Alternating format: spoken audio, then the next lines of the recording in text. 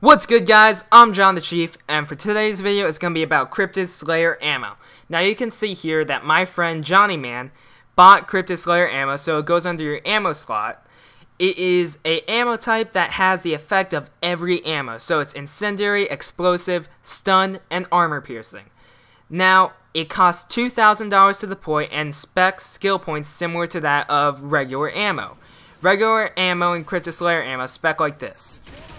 At zero skill points invested, it will be giving you 40% maximum ammo. At one skill point invested, it will be 70% maximum ammo. When uh, two skill points invested, it'll be 100% of maximum ammo. And then three skill points, it will refill the magazine of your gun for you.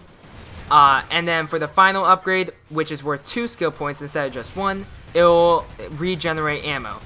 Now, this regeneration of ammo, I don't think it works, so if you're one of the people that has this, don't go for that. You wouldn't ha only have spend two or three skill points into this. So that makes it actually kind of useful, because you don't need as many skill points to max it out.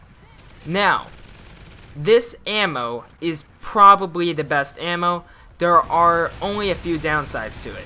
Number one, it costs $2,000. So it's not that good for so since you won't be getting that much uh, let's say cost per bullet, like it's gonna be a really high amount for each bullet. So you can't make your money back nearly as much as say if you had maxed out armor piercing rounds. Now, keeping that in mind, Bulldog. Shotguns and shotgun lovers, so people who mainly use the Bulldog and MTS, they are kind of nerfed with this ammo. When you have an explosive round with a shotgun, it shoots these slug-like kind of rounds where they don't do nearly as much damage, and it only shoots one pellet. Like, it doesn't split into uh, six or seven different pellets that hit the target. It's just one bullet, so it kind of gets really weak. So those are the few downsides of this ammo, but otherwise, it's probably the best ammo out there.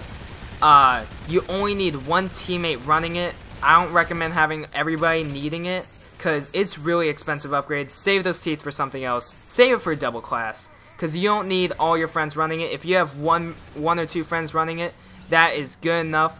Hope you guys enjoy, uh, and have a great day, guys.